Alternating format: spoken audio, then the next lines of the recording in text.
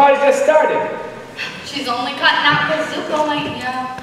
No, I'm not. I didn't agree to see him Then why'd you come? because I was invited. We only invited you because we needed the record player.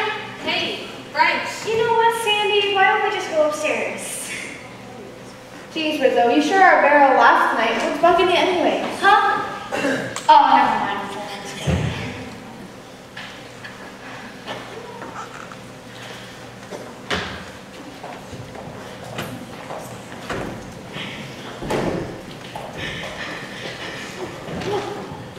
Hey, uh, Riz, I hear you're knocked up. Oh, you're hurrying? Good news sure travels fast. Hey, listen, why didn't you tell me about it? Um, don't worry about it, Kitty.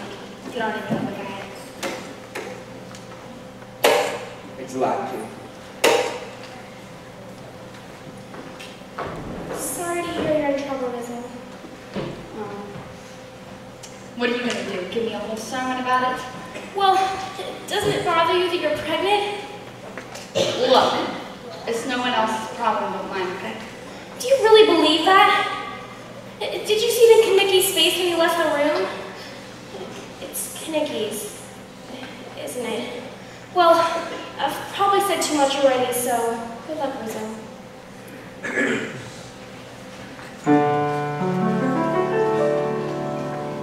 There are worse things do eh?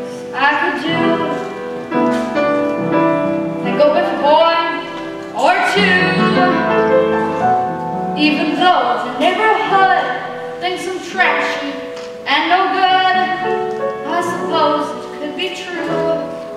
But there's worse things I could do. I could flirt with all the guys.